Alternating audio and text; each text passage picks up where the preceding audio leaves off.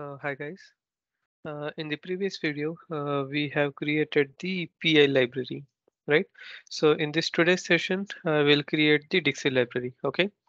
So I'll go to this PC, downloads, EDK2 demo.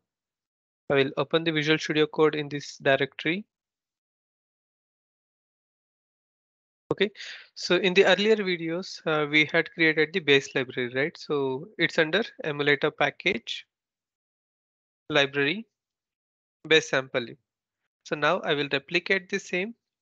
OK, and I will rename this to DXE sample lib. OK. So now within this we have our C file and the INF file. So let me rename this as well. So from the base sample lib to DXE sample lib. OK.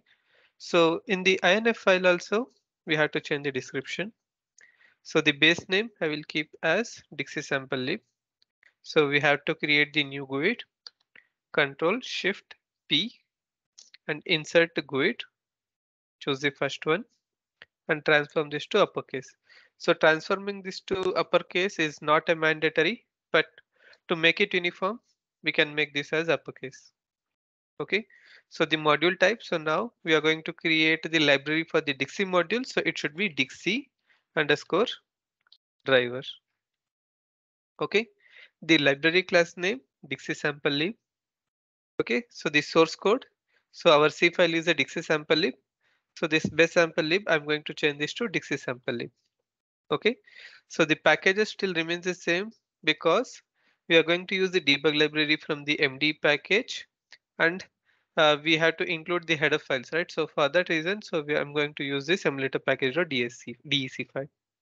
Okay, so now in this uh, C file, so here I'm going to change the API name as a DXE, DXE sample print function. Okay, and here we have to import the header file, right? So now I will go back to the C file, lib uh, sorry, include library I will replicate this PEI sample lib as a DXE sample lib. Okay, so here change the name from the base to DXE. Okay, and here the API name as a DXE sample print function. Okay, so this is uh, done with the creation of the uh, DXE library. Okay, so what this uh, library is going to do? So this library has a function called DXE sample print function. So which is used to print some message. Okay, so now we have to include this INF file in the DSC file. Okay. So emulator package dot DSC. Okay, so here we'll search for DXE underscore. Okay, so we have we are doing for the DXE drivers, right? So I can include here. So I can include here or I can include here. OK, because so this is for the DXE driver. So there are within the DXE, there are different phases like the DXE runtime uh, and the DXE driver and the DXE core, right? So it's a generic for the DXE driver. So I'm going to keep this here. OK. So DXE sample lib. So this is a library class name. So where this DXE sample lib is coming from? So this is a library class name. So this is DXE sample lib.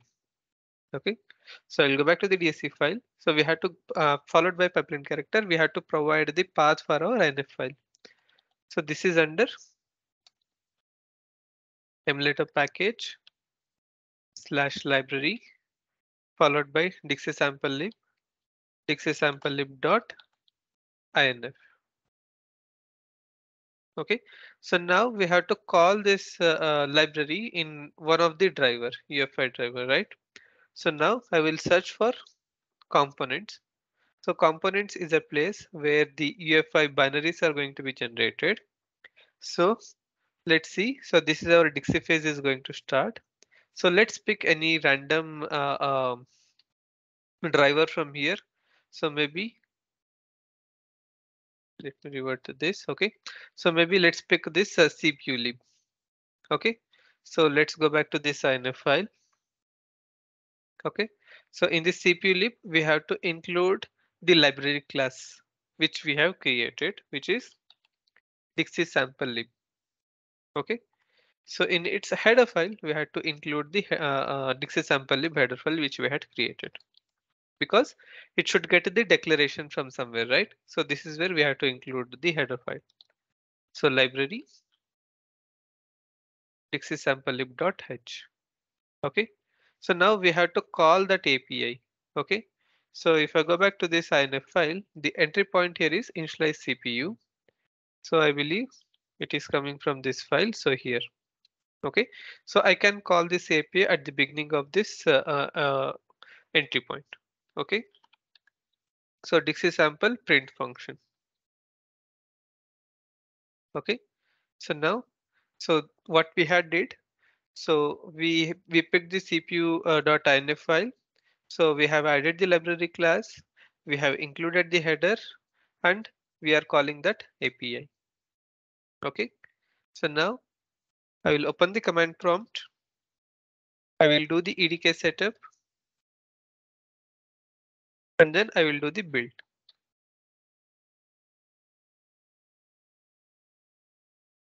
Okay, let's wait for a moment. Yeah, build is completed. Okay, so I will go back to the build folder. Em emulator IA32, VS19, IA32. Here I'm going to open the new command prompt. I will run the winhost. I will redirect the logs to boot.log and I wanted to redirect everything. Okay, so for that I'm going to use 2 greater than ampersand 1. Okay, so as you can see, it is booted to UEFI shell. Okay, so I will close the terminal. Okay, so let's open the boot.log. Okay, so here, so we uh, we have added the library in the cpu.inf file, right? So let's search for that one. So cpu.efi file. Okay, so this is where our uh, uh, CPU or driver got loaded and it is calling the entry point and this is our uh, message from our uh, DXE sample lib, uh, lib uh, library. Okay, so the message here it is. So it says DXE sample print function.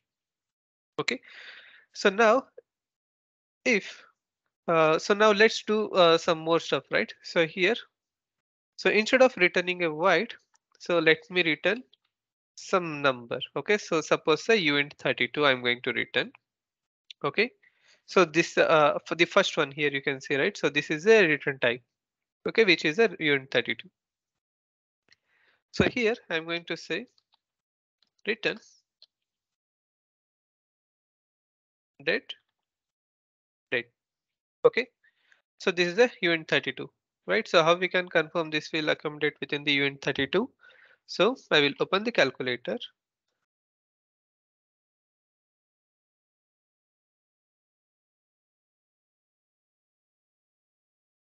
Okay, so here by default, when you open the calculator, it will be in a standard mode.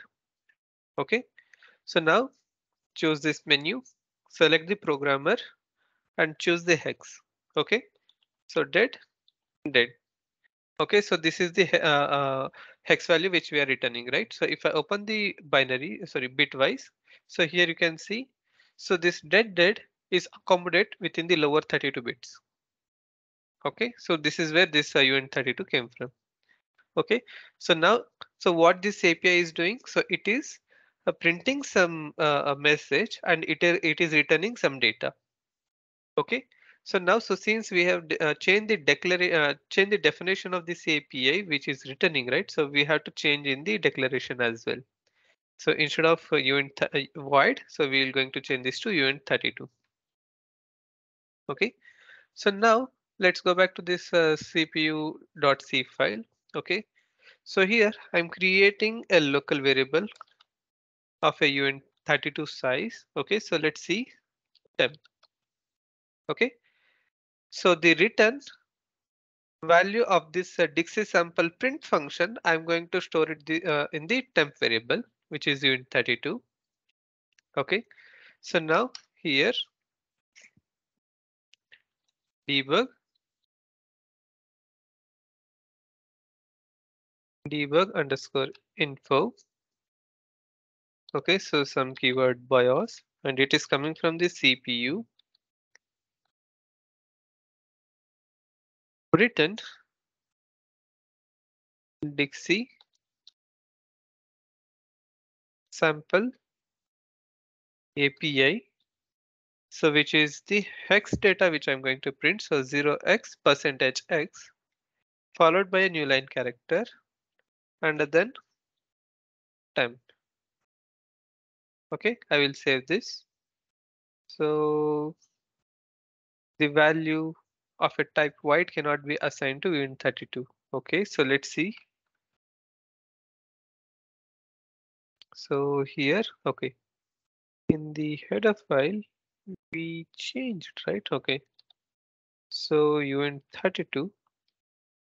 So where else I changed? Okay, sorry. I changed in a different place. My bad. Okay, so now CPU. So yeah, so error gone.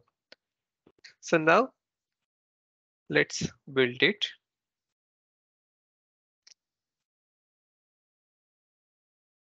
Okay, so build got started.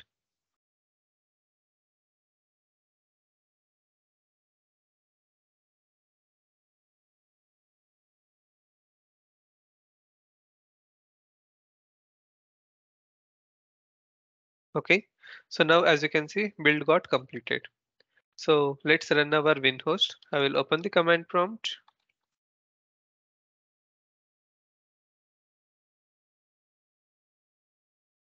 Okay, so it is booted to UEFI shell. I will close the terminal. So let's go back to this uh, boot log. Okay, so here you can see we got our message and we are getting the return data from this API. So what we did, the return value of from this API, we are storing it to a temp variable. And then that's uh, uh, that same variable we are printing here. Okay, so what we did today, and and uh, and one more thing, right? So whether the cpu.inf file, how where this definition of this uh, DXE sample is coming, right? So we can check that as well. Okay, so we can go to this uh, build IA32 emulator package CPU runtime DXE. Where is it? Here, and then output, and then we can go to the CPU INF. Okay, so first thing what you can see here is, so under this uh, uh, library classes.i32, so here we have this path DXE sample lib.inf file. Okay, if I compare this cp.inf file, so what we are adding here, we are just adding this uh, DXE sample lib. But so the definition of the DXE sample lib, where it is coming, so it is uh, it is coming from here. So how it is doing the translation? So it is doing the translation with the help of the DSC file. So as you can see here, this DXE sample lib is got replaced with the second argument. Okay, so this is where this is coming from. And then I will open the cpu.map file and here I will search for sample. Okay, so here you can see this is our API name and this API name, it is coming from a library DXE sample lib and its associated C file, which is DXE sample lib.object file. Okay, so what we learned today, so we had created the DXE library by replicating the base library and modified accordingly to support the DXE module. Okay, and that library uh, we are calling in the uh, cpu.inf file, which is a DXE library. So you can see, so it's a, a DXE driver, right? So then uh, uh, that library, it is returning some data. So that data we are storing in a uh, variable and that variable we are printing here. And then uh, we went through uh, the output uh, INF file and we saw how that library class got converted to its respective INF file. And then uh, we see where the definition of that uh, API it is coming from is from the map file. That's it for today. Thank you.